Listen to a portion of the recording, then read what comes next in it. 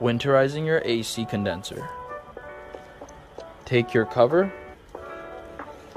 find the strap, make sure the strap finds its way in this corner. Once you have it on, make sure you grab the Velcro strap, go underneath all your connections, make sure you get a solid point of contact.